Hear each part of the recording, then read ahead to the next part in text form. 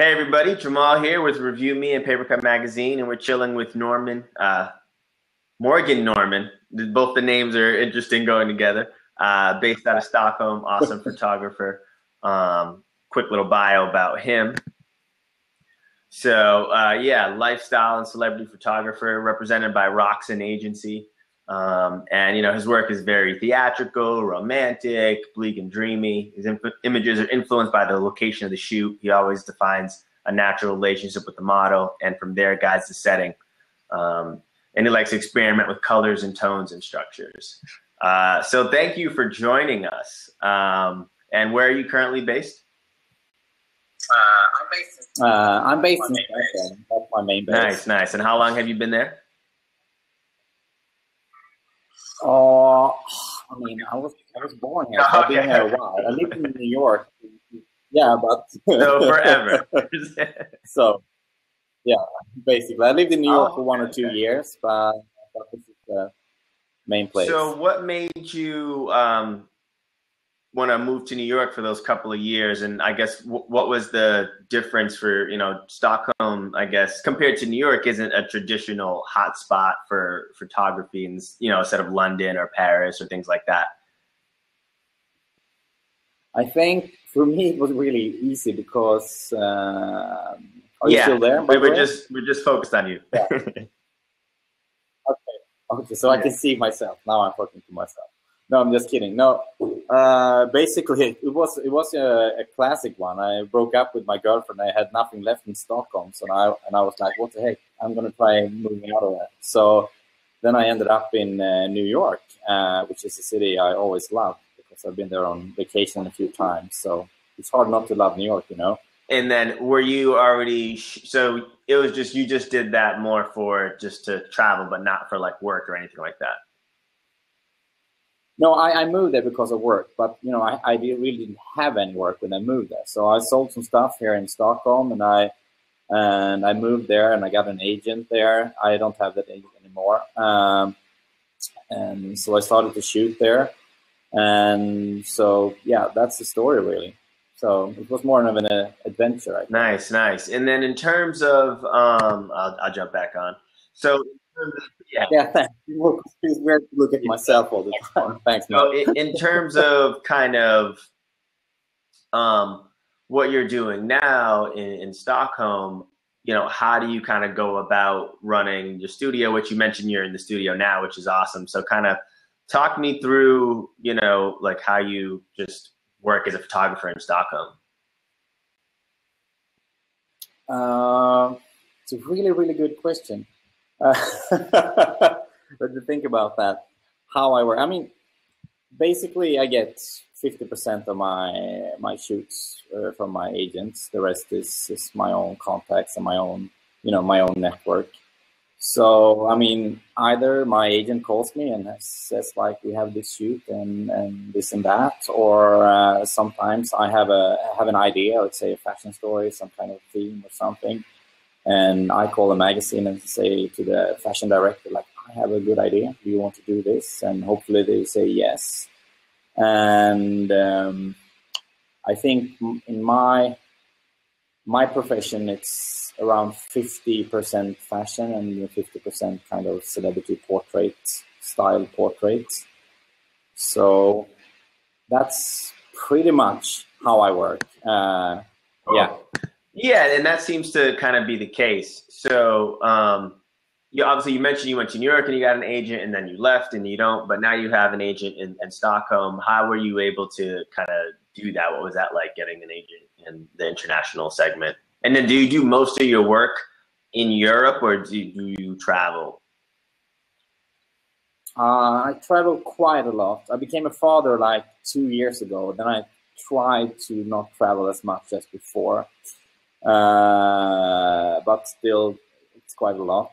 And also, I, I work a lot in, in Russia because I don't really know how I ended up. You know, I did one shoot and one shoot led to another. So um, I work pretty much with the Russian market as well, which is pretty exciting. Uh, but back to the question about agent, basically, I mean, you just walk around, show your pictures and, and, and say like, I really want you to represent me and, and you like my stuff and, and from there on, you know. And so was that a kind of a difficult process? Like how many people did you have to to show and is are there that many agents in Stockholm? Like how does that like I would say I was an assistant like 10 years ago, uh, it was basically two or three main agencies. And now I think, I don't know, it's probably eight or maybe 10. The market is so different today than before. Like before, there was like yeah, you have the three main agents and the, the, the old school photographers, and you assisted a photographer, and then you hopefully you can join the agency. But now there's so many young, cool agencies starting up, so it's very different today. Uh, but for me, I had an agent before I went to New York. Uh, so when I came back, uh, I worked a couple of years with that same agent, but then I thought that it kind of got stuck. So I just emailed a few other ones, maybe two or three, and had a few meetings, and then I signed with, with one, the one who wanted me, and I wanted them. So that's pretty much. yeah. Case. So yeah, let's take a step back and kind of go back more to the beginning. So you mentioned you assisted. So I guess even before that, so how did you kind of teach yourself? Was it more just like I'm just going to get a camera and start shooting, and then you assisted, or did you go to school, or kind of uh, talk me through that? It was a long process. I used to work as a social worker okay. in, uh, in the suburbs of Stockholm. Yeah, but I was pretty young. I was 22 or 21, and you know, I and I played drums in a rock band at the same time, and then I quit the band, and I was pretty lost. So I was like, I need something to do, you know, something besides drums. So I, I just picked up the camera and really from the basic, I just shot what I liked. You know, it could be anything just to have a hobby or something. And then I really, really enjoyed it. So I applied for some schools and, and I got into this advertising fashion kind of photography school. And from there on, I went to become an assistant. And, and yeah, so that's kind of the story. It was more like a, a crisis, you know. I quit the band and was like, what the fuck did I do? I need to do something with my life. So that's the story. Yeah, so that's weird. Social worker turns drummer turns advertising photographer. That's an interesting. Yeah, it's, uh, I, I still can't. I, I still don't realize that I am a photographer. Sometimes when I'm on set and there's people everywhere, I go like, "Is this my job? Can I do this?" You know, I still think that to myself sometimes because, yeah, still feels kind of new, even if I've done this for ten years. Yeah. So you mentioned getting into to that advertising photography school. Was that or specifically just for photography and you learned technique and stuff there, or was it also like other stuff like advertising too, like brand design and stuff, or? It was basically photography, but they tried to be more like, oh, we can also teach advertising, but they couldn't. But they, it was a good technical school, you know. So I went there for one year, and then I actually quit and I started assisting a fashion photographer called uh, Carl Bengtsson. Uh, and that's how I wanted to start to work with more fashion and celebrity shooting. Uh, the school was very technical. Got you. So you felt like it was just kind of too stiff, too technical, and you felt like, you know, with fashion, yeah. it's really just all about the creativity and, and connecting with the people, which did that kind of help being a social worker, being able to connect with people on set and things like that? And or I I think so. I think so. Uh, like at least, I mean, the social part, you know, to connect and to build networks and stuff like that. I think I gained a lot for uh, my experience being a social worker. Definitely, and and the fashion people can be kind of weird as well. So you need to have the feeling, you know. Yeah, you got to get get in their head. yeah, in fact, I'm not that fashion at all. I grew up on the countryside, so so, but you still have to be able to talk to these people, you know? Yeah. So I guess talk to me uh, about that. I think you see a lot of people when they're starting, particularly fashion is very difficult because there's a lot of different elements. One being the fashion part. Um, and then the modeling, uh, the models, and the styling, and the hair and makeup, and all that kind of stuff. So, how did you go about refining your taste? You know, how did you kind of learn about the fashion part of it? Obviously, you assisted somebody, but you know, when when did you start to feel like, okay, I think I have a sense of this, like you know, and we'll look at your website in a minute, but um, in terms of knowing like what makes a good image, you know, styling wise, hair and makeup wise, you know, how you know. I mean? uh, it's a really really good question. I think, I mean, I've learned the basic because I've been working for a while, but still, in my opinion, you need a really really good team because I know what I like, but that's just some kind of gut feeling like, oh, I love that shape, or I love that light, or I love that dress, or something like that. But then I have, you know, a, a super cool stylist or a, a, great makeup artist. So I'm very, very dependent on the team uh, because without the team, I mean, I can take nice pictures, of course, but you really need a good team because, I mean, it's, it's different kind of knowledge. So I would say I know the basics, uh, but I'm very dependent on, on the team. Yeah. Again. And so I guess the important factor there would be like you at least need to know the basics, like you said, to know if you have a good team. So, so how yeah. did you kind of go about finding your team, and what made you feel comfortable that, yeah, they're they're they're good? It's, it's, a, it's a it's a hard question. It's, it's really hard to answer that. Really, I mean, it's it's more what you like, and if you're lucky, other people like it and and and and that's how you become a great team, and that's how you create uh, nice pictures, you know. So, but I mean, obviously, I probably started to learn things when I was an assistant because I was doing retouch nonstop for two years, and that's probably the first, you know, the first thing that that started the whole, the whole process of, of, of, knowing fashion. Oh, I don't know fashion really. I know shapes and colors and, and, and, and, and photography, I think. Yeah. Well, I mean, I think that's important, you know, the shapes and knowing what looks good. And so you mentioned retouching. So you, so for two years, you were just going hardcore on, on retouching. Talk about that. Like, yeah. obviously you're kind of just sitting in front of a computer doing this, but you know, how did that shape your photography? You know, do you, now that you mostly shoot, do and obviously do the editing too, but how does that affect your production? Do you are you one of the people who just shoot it and then like okay I'll fix it in post, or do you really now that because you do editing, you did editing, do you like try to really make it good in in production?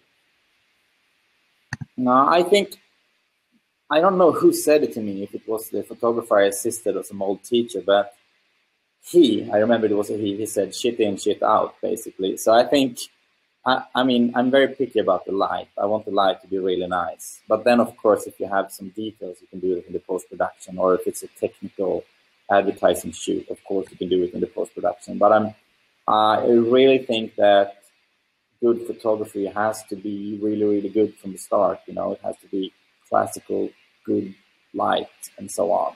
I don't want to end up like saving pictures in the post production. Of course, sometimes you do because you can fuck up, of course but that's not the optimal situation. Got you. So you really try to make sure that it looks just perfect for you on set. And I guess also it's also about the feeling too. So it's got to feel a certain way too. So, you know, when do you like feel that it looks right to you? The shadows are just crisp. There's that drama. Like, what is it that kind of gets you?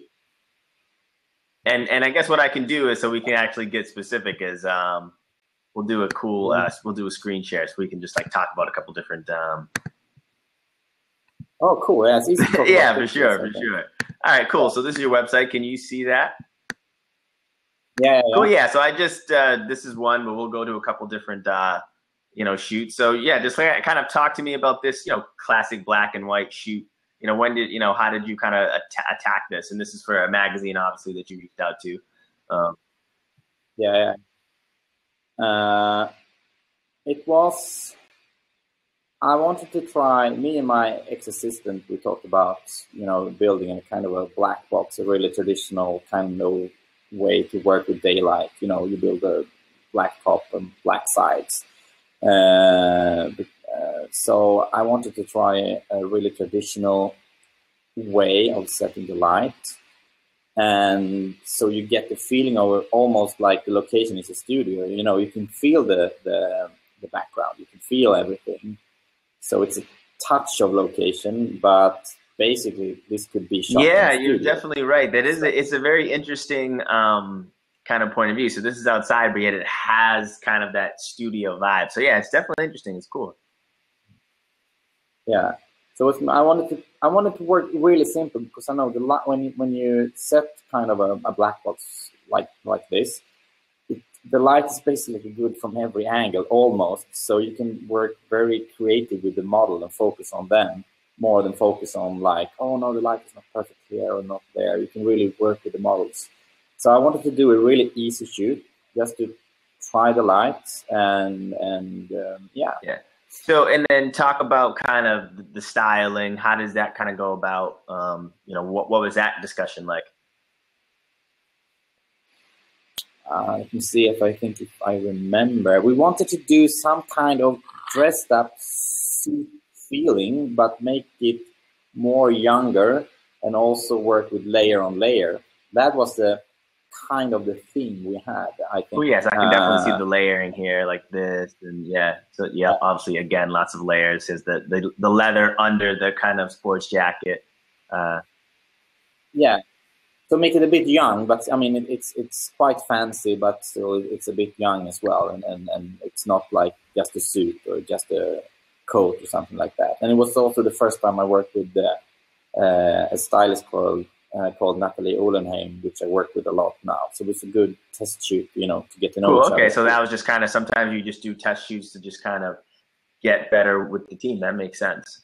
So one thing I noticed about your work, there's kind of a lot of drama in, in the lighting. Like let's go here with this this shot here over here for for uh, Vogue Russia, which you can talk more about. Um, yeah. And you, also, you mentioned before, like, so you do a lot of stuff with in Russia now. That just seems like kind of crazy. Yeah. but that's cool that you're kind of attacking this like untapped market. So I guess we'll talk about this and then Russia more in more detail. Yeah, uh, yeah. This was this shoot was uh, the editor in chief of Russian Vogue. she said to her stylist like, "Okay, whatever Morgan does, we need a fucking horse in this shoot." Like, production of the shoot. So she was very specific about getting a the shoot. So um, it was when we came to set. This is the old uh, Mariinsky Theater in St. Petersburg, which is amazing. It's huge and it's three or three hundred years old. So it was before the revolution. And you know, sometimes when you come to a location like this, you almost get paralyzed because it's so good looking. So the first thing is like where should I start? How should I how should I make the picture? You know, to, to because everything looks so good here. So um, that was my first, you know, feeling when I came to this uh, yeah. this stage. And this shoot is very special because we had the dancer moving, we had the horse, and also the light in the background. Uh, you see the golden, the yeah, golden yeah. area. Here, that light is. That's just you know small what do you say chandeliers and and uh, you know small lamps. So i had to push the iso really hard and lower the flash. It's, and still he was moving really fast. So it was it was pretty complicated actually. Uh, so was, i was quite stressed but yeah so yeah. i guess that, that's kind of interesting. So sometimes you get the creative freedom but here you had to have a horse. And so you know yeah. i think that's kind of interesting how so it's like you you basically you're being brought in to do a job and you have to work with what you're given which is you need to shoot here you need to shoot him and you need to shoot the horse. Um, and so does that yeah. kind of stress you out a little bit sometimes or kind of like how do you prepare? I mean i was prepared a lot with like what kind of light i should use and what kind of poses we could use. And uh, i was prepared that it's going to be quite tricky with the horse so I was a little bit prepared, but of course, when you come to set, it's always like, like okay, where to start. But I mean, also you have, I mean, this is no secret. You have to shoot a lot of pictures, of course, because I mean, in one, in, it's probably 80, 150 pictures behind each final picture because there's so many elements going uh, at the same time. Uh, so it was basically like filming. You know, he was dancing, and I followed followed him with, with my camera, and I had two assistants with uh, the light was on the wheel. I think I have it behind the scenes section. I don't know if you want to go there, but I have it behind the scenes section, backstage. It's called. oh, okay, yeah, um, I see it. Uh, really yeah. quick, we, we have a, a, question from um, somebody here. They say, yeah. "What are you?" I think this this was for the last shoot, but they say, "What are you using to create the black box on location? Uh, seven by seven scrims with black fabric, or what did you kind of do there in that last shoot?" Uh, it's uh, uh, I need to translate it uh, into English. It's uh, I don't know. We have centimeters and meters, oh, so it's okay, uh, two four by two point four meter frame and two wind ups. Uh, so I can probably I, I, have behind the scenes pictures of that. So I don't know if they can watch it. Uh, you can play it to them. If you scroll further down, further down, there you have it. If you click on that one, you will see the next picture. Or maybe the next. Oh, you only see it a little bit. Try the next one as well. Oh, I don't know. Maybe if, I'm, if you're lucky, we have. Here you see a little bit. You have the two wind ups, and okay, yeah, you see it there.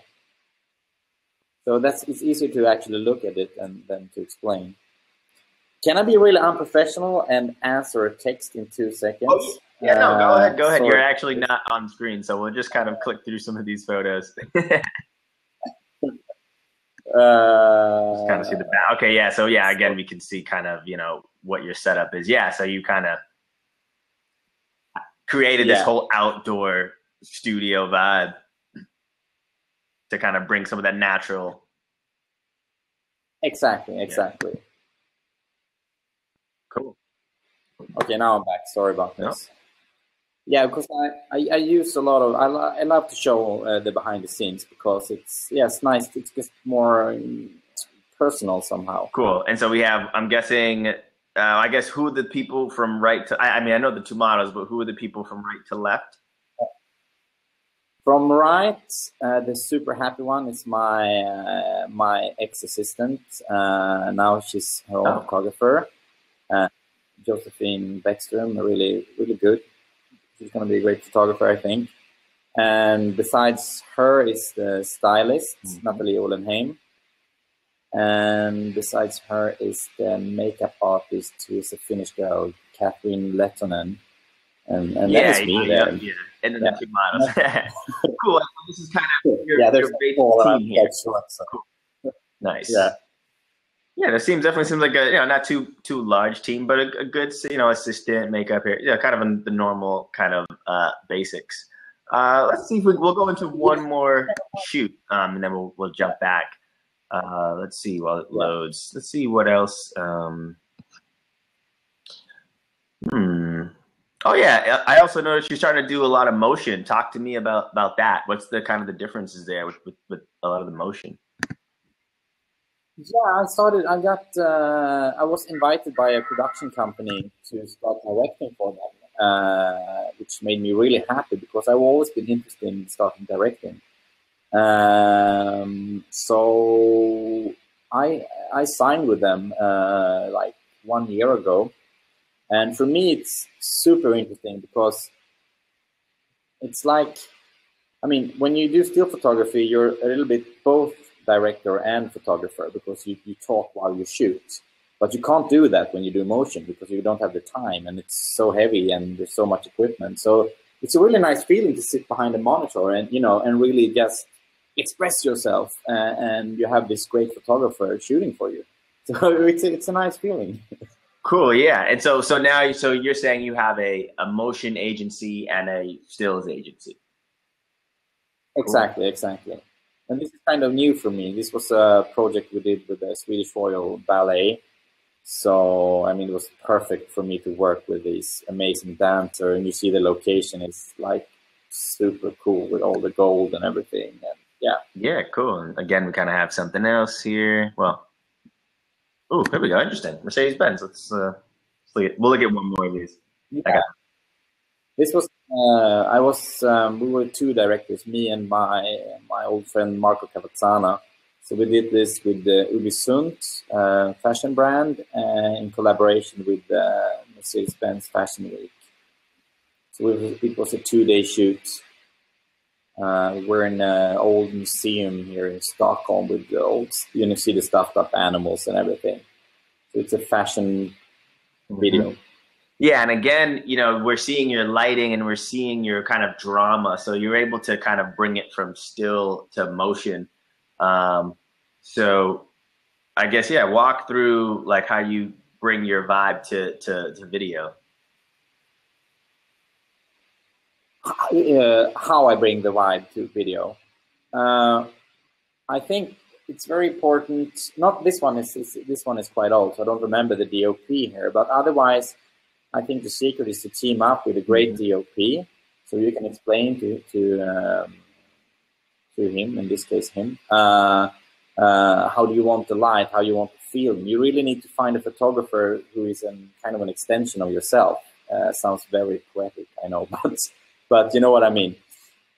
And also, I'm very picky about light because that's my work as a photographer. So so I'm a very light and visual director. Mm. I think I'm not. Too, I don't know. I had never. I really never tried. You know, shooting a short movie or something like that. So I don't know how good I am with directing um, conversation and dialogue like that.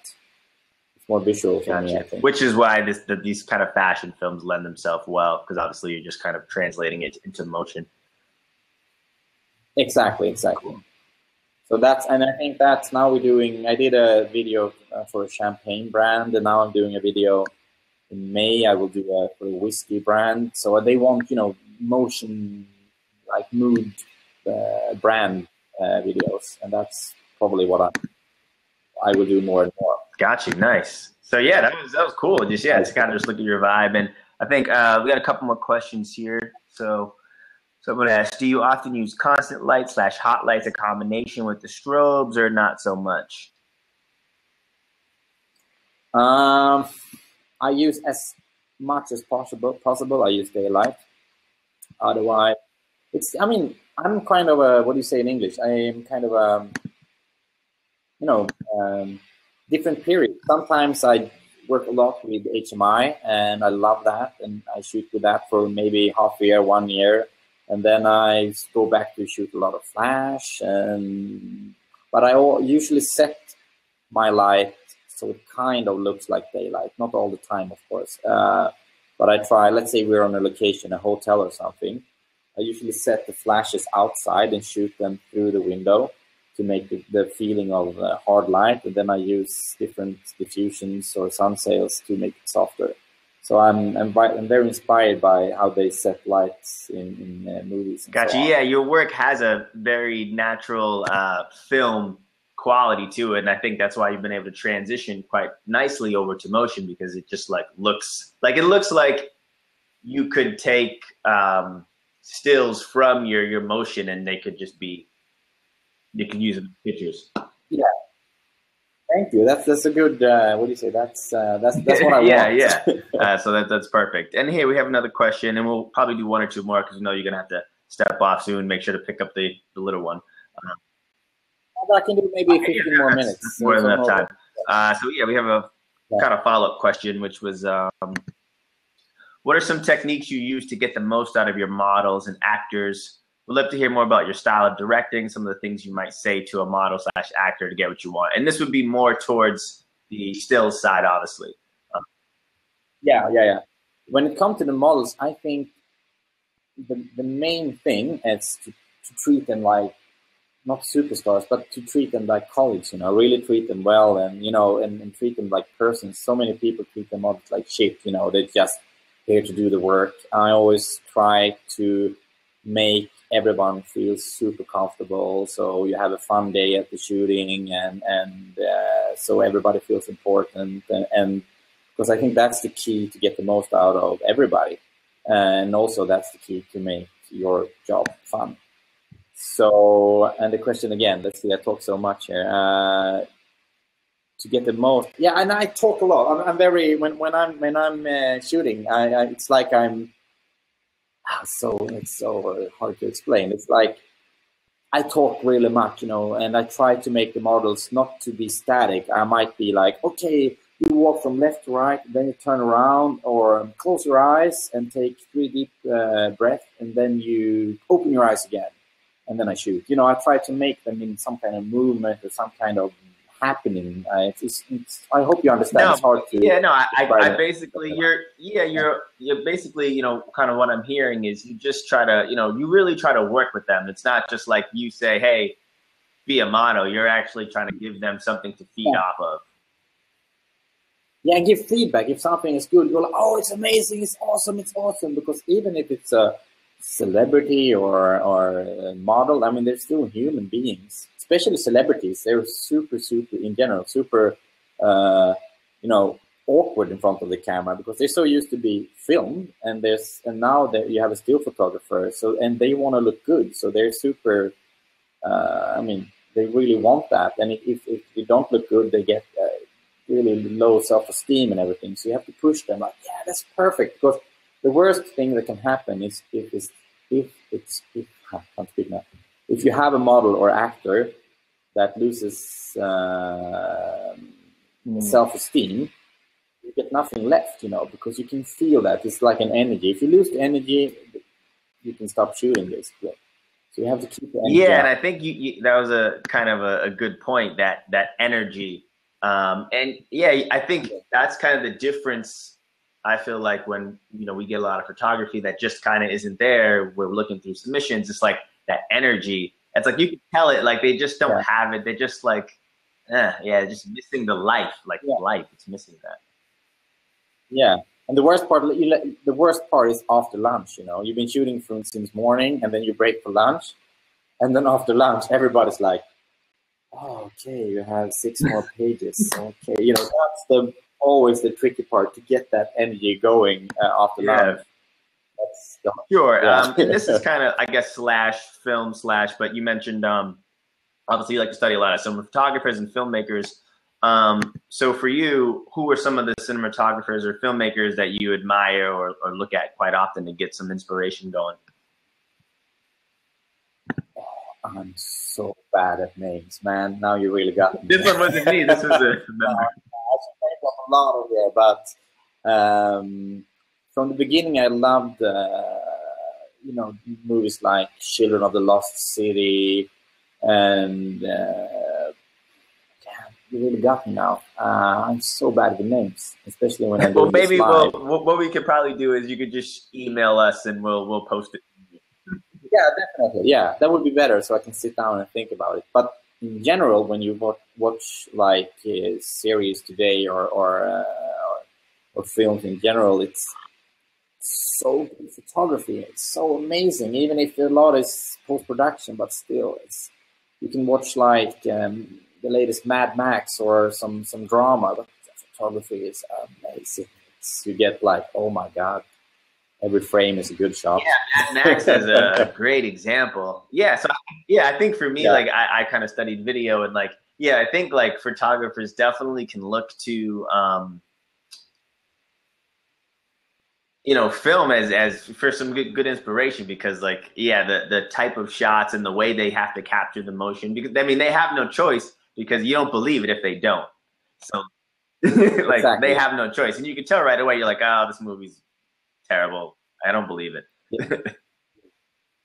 But but to answer, I, I see the questions uh, right to my computer. Uh, filmmakers and and why it says I can't give you any names right now, but why is because again, like some films, like every frame is a still frame, you know, almost, and then you get like, oh my god. And I kind of like traditional uh, photography, you know, when it's classical, really good cinematic photography. Yeah, I'm definitely a huge proponent of that as well. I just love like the I love you know the drama in it, and I, I love that kind of stuff. And you definitely do that, which is which is fantastic.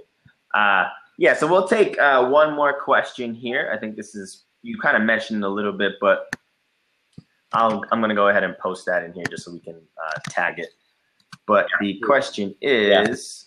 How do you go about pitching a photo editor of a high-profile magazine like Vogue Russia for an editorial? how do you establish a relationship with your Vogue contacts, or how did you do that? Obviously, your agent was a part of that, but yeah, just kind of walk through that a little bit. Oh no, they, they were. Oh, they were not. Okay. actually. So that's good. Uh, you need, for me, in like coming into the Russian market was a little bit of a lucky shot and hard work at the same time because my ex-girlfriend she was half russian and so we went to st petersburg and i was like oh my god this is a cool country. Not a cool leader though putin is the uh, guy or putin but, but as a country itself it's, it's very chaotic and, and crazy and still they have like the biggest magazine they have vanity fair no they don't have vanity fair but they have basically every magazine beside vanity fair and they have their own Condé Nast there. So for me, it's a it's two hours flight, so it's a very interesting country to go to.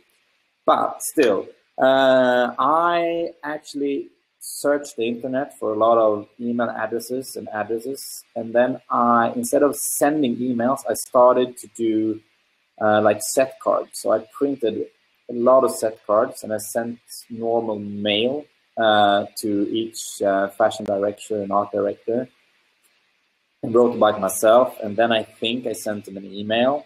And I was lucky because one magazine, Collezione, they had used one of my editorial shots as inspirational pictures for another shot. So the editor in chief, she was like, ah, I know this story you sent to me. Let's work together. So then I was sent to Paris and did a fashion shoot for them. And then that one shoot led to another and so on and so on and so on. So now i have a great network in, in, in russia. But i think you need to do something else. You can't just write an email because they don't even read it. They have to get so many emails you know. And so you need to do something different to get their attention.